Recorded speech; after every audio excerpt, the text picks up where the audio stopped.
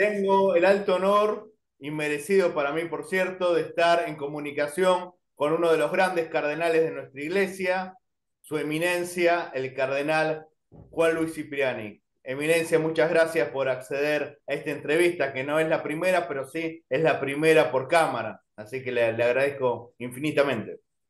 Muchas gracias. Estoy aquí en Pamplona, en España, predicando un retiro a sacerdotes y con todo gusto estoy a tu disposición para lo que quieras. Si bien es cierto que usted es un hombre de Dios, no hay que eh, desconocer que es un patriota, que es un hombre que ama profundamente al Perú. Usted ahora está a la distancia. ¿Qué imagen tiene del Perú actual, donde lamentablemente siempre hay crisis política? Bueno, la verdad es que soy un hombre de esperanza y al mismo tiempo de realismo. El Perú ha pasado por una situación complicada en política, me parece que está asentándose lentamente. Y desde aquí ojalá que todos busquemos lo mejor para el Perú. Y por ahora creo que no es muy prudente pensar en cambios, pero veo que se ha superado de una manera aceptable, aunque haya cosas que realmente no son fáciles de gestionar, ¿no? Pero en fin, desde lejos tengo esta impresión. ¿Qué nos puede decir que lamentablemente cada vez estamos viendo más que hay una revolución mundial anticristiana, donde se tiende a atacar a la iglesia, atacar a los príncipes de la misma, por ejemplo, la dictadura de Nicaragua, que tiene encarcelado a su excelencia el monseñor Rolando Álvarez. ¿Qué, qué nos puede decir al respecto? Bueno, yo quiero digamos, lo, que yo veo en el mundo entero es que hay una enorme crisis de fe. Y entonces la iglesia tiene ese deber más urgente que nunca de proclamar la palabra de Cristo y de saber eh, explicarla de tal manera que esa palabra se haga realidad en la vida cotidiana. La familia me parece que es un tema especialmente delicado que está atacada por esto que se llama la ideología de género. Me parece que hay que recuperar el sentido natural, ya no digo cristiano o no, sino eh, la vida de la familia. Un hombre y una mujer se casan, tienen unos hijos y la estabilidad en el matrimonio es fundamental para que la fe se extienda de una generación a la siguiente. Otro tema importante es la educación, en la que no se puede alejar a los padres de familia de la responsabilidad de educar a sus hijos. Esta es una tarea fundamental. Entonces me parece que hay mucho por recorrer. Estamos desviando, digamos, muchas veces los aspectos de, de los países en el mundo, más todavía en Europa, a destruir la familia, a destruir la educación. Realmente hay tanta gente que quiere trabajar, hay tanta gente que quiere desarrollarse. Pues pongamos un fundamento más sólido en la familia y en la educación. Empecemos por ahí. Y también la iglesia que permanentemente recuerde con fe que Cristo no nos abandona y que lo que nos pide es dar ejemplo. Hay muchas cosas que pueden mejorar, hay muchos errores, hay muchas faltas y a veces muy gruesas, pero no podemos estar permanentemente silenciando la voz de Cristo. La voz de Cristo es una voz de fe, de esperanza, y de esa tranquilidad de que Dios no abandona. Creo yo que es un desafío muy grande para esta generación, pero hay que enfrentarlo. No hay que huir ni hay que quedarse callado, hay que enfrentarlo. Y en general diría yo que a la juventud y a la gente hay urgencia de que participe en la vida de su país.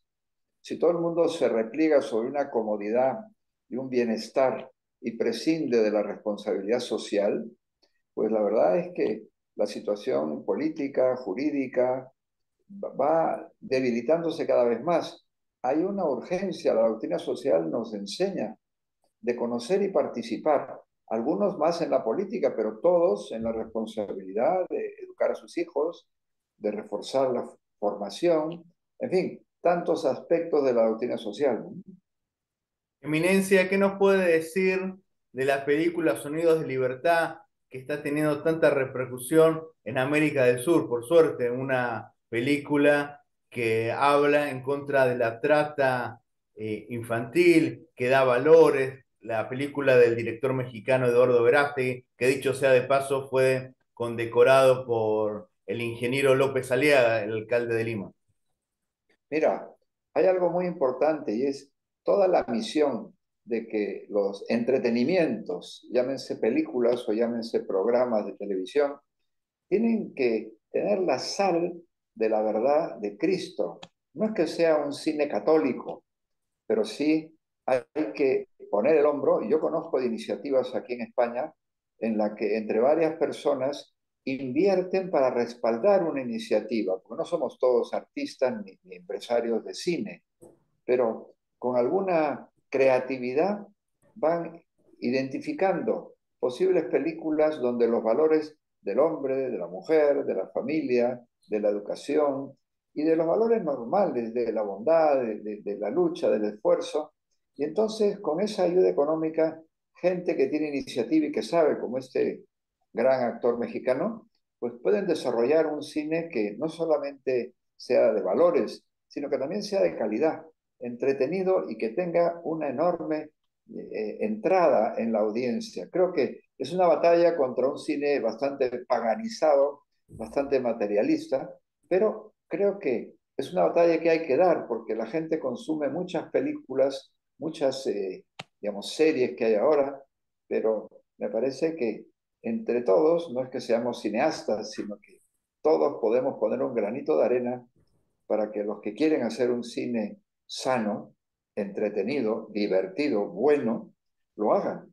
Y este ejemplo que has puesto es uno de ellos. Hace un tiempo, acuérdate de Mel Gibson con La Pasión. Así es. Ha habido intentos, pero hay, hay que insistir, no hay que cansarse. ¿Tiene pensado hacer un ciclo televisivo, radial para el Perú? Porque era muy recordado y muy extrañado también sus charlas sabatinas.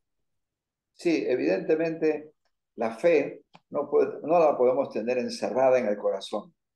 Yo tengo una ilusión muy grande de participar en la vida, eh, digamos, no solo del país, sino de América Latina y del mundo, con mensajes breves y que de alguna manera ayuden a una semilla de esperanza, una semilla de verdad, una semilla de aliento. Sí, yo creo que el mundo de hoy está un poquito oscuro, pesimistón, ¿ya? un poquito sin, sin, sin una guía clara. Y me parece que entre todos podemos ir abriendo un poco ese panorama de esperanza, de, de aire puro y, y, de entusiasmo. Creo yo que esta generación nos toca ese desafío y hay que enfrentarlo. O sea que Dios quiera y, y, y te pido oraciones y a todos para que esto pueda ser realidad. ¿Cómo se entiende que esta generación le reclame más a un futbolista que a un político, ya que uno paga impuestos para que los políticos gobiernen de buena manera el país. ¿Cómo se puede entender esta falta de esperanza y de lejanía hacia la política? Mira, yo creo que hay un gran tema, como te decía antes, que la fe. La fe es como una luz que ilumina tus ojos para ver mejor, tus pensamientos para analizar las cosas mejor, tu corazón para que se quiten los odios, las venganzas, las mentiras, eh, los robos. Pero todo esto no son todos los políticos. Hay políticos que intentan hacer algo, no es fácil, pero evidentemente me parece que es una llamada a, participar, pero participar con la verdad, participar con entusiasmo. Esta generación, digo esto porque no es que sea la generación, es que los cambios que están habiendo tan rápidos, tan profundos y muchas veces tan lejanos de la realidad, están haciendo urgente el entrar a participar, porque si no, realmente la tecnología y cuatro aparatos con muchos millones nos están llevando ya como, como animalitos de la, de la nariz para hacer las cosas. La libertad hay que rescatarla y hay que construirla. Juan Pablo II lo decía de una manera espectacular, ¿no? Es decir, no tengan miedo, ¿no? O sea, pues no tengamos miedo a ser libres y a construir esa libertad. ¿Cómo es la vocación religiosa de los jóvenes? ¿Se está perdiendo, está reflotando Usted me imagino que está recorriendo seminarios, habla con gente que quiere ser sacerdote. ¿Cómo es la vocación religiosa en la actualidad? Mira, yo creo que hay una gran sensibilidad de hacer algo, pero no saben qué, de participar, pero no saben cómo. Entonces, me parece que esta generación no tiene el problema, la juventud, somos nosotros que hemos abandonado un poco a su suerte pues no defendiendo a la familia. Yo tuve la suerte de crecer en una familia, 11 hermanos. Yo vi, mis padres un ejemplo. Yo fui a un colegio de unos religiosos marianistas, americanos, allá en el Perú, y bueno, veía en ellos con muchos errores de ejemplo. Yo estuve en parroquias asistiendo a misa como cualquier católico y predicaban y predicaban cosas normales. Yo creo que en este momento eh, los padres de familia no están dando ese ejemplo a sus hijos. En los colegios ya casi nos enseña la fe católica y en la vida diaria, pues prácticamente se ha dejado a Dios en, la sacristía. Entonces, esa, ese desafío es un poco a los mayores y a la juventud que quiere participar, pero no hay que engañarla. La vida no es fácil, la vida es dura y exige. Yo lo sé por el deporte, por ejemplo. ¿Cómo me gustaría que el deporte... Un gran basquetbolista era. Sí, así, pues me gustaría que el deporte fuese un camino en donde la gente encuentre esa escuela de lucha, de esfuerzo, de, de, colaboración, porque me parece que a la juventud hay que enseñarle que la vida es lucha, pero que la lucha entre amigos es muy importante. Y otra cosa que también la juventud, con estas maquinitas del, del celular y de, todas estas máquinas electrónicas, pues a veces se encuentran muy solos frente a una maquinita viendo una película, pero el cariño, el amor, la ayuda, la solidaridad, la colaboración, las máquinas son frías, entonces la gente va aislándose, los jóvenes. Yo creo que hay que enseñarles a ser amigos. La amistad no es solamente tomarse una cerveza. La amistad es cambiar ideas, hacer deporte juntos, estudiar, hacer planes de, apostolado, de, orientación, de solidaridad, de voluntariado. Es decir, hemos visto la jornada de la juventud en Lisboa, pues millones. A todos esos millones hay que ponerles esa ilusión de la fe. La fe nadie nos ha dicho que hace daño. Nadie nos ha dicho que enseñar religión hace daño. Nadie. Nadie nos ha dicho que enseñar en los colegios la fe católica fue una crisis, no. Y sin embargo, pues se ha quitado de en medio sin preguntar a nadie, se nos ha impuesto con una política más bien atea, materialista, no en todas partes. Yo veo que hay una cierta reacción en Estados Unidos, en el propio Brasil, pero no por la política, sino por la organización de las familias. Aquí mismo en España veo tanta gente muy buena con iniciativas escolares, deportivas, culturales, sociales, pero no hay que quedarse encogidos mientras uno ve que las leyes van arrasando y quitando de en medio la fe y a Cristo. No, no hay que tener miedo. Lo peor que puede pasar es que te maltraten, que te insulten, no pasa nada. Los primeros cristianos crecieron en el martirio. No podemos callar esto. La iglesia es una iglesia de mártires. Si queremos evitar el sacrificio y el esfuerzo, no haremos una iglesia, haremos un club de amigos, pero no sirve para nada, ¿no? En fin, dicho esto de una manera así sencilla. Eminencia, ¿nos puede impartir su bendición para todos los que están viendo esta entrevista? ¿Compartir qué, perdona? Tu bendición.